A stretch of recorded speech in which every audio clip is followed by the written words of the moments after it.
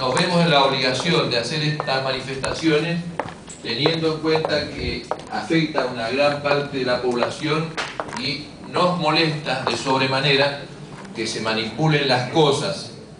en la Comisión de Energía y Combustible y no se transmita lo que realmente allí ocurre.